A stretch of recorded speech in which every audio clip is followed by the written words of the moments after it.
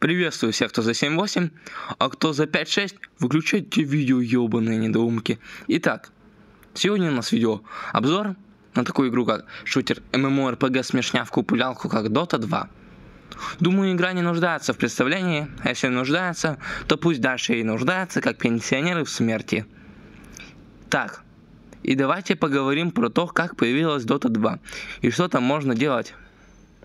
Dota 2 появилась раньше сингулярности, когда именно мы не знаем. Потом появилась сингулярность, а за ней пространство-время и другое.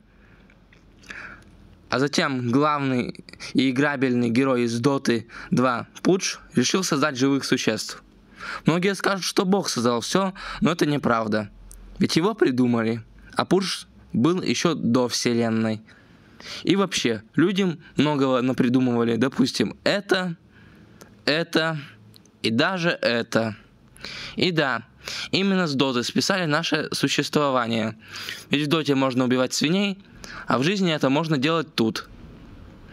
Неприятно говорить, но у доты тоже есть минусы.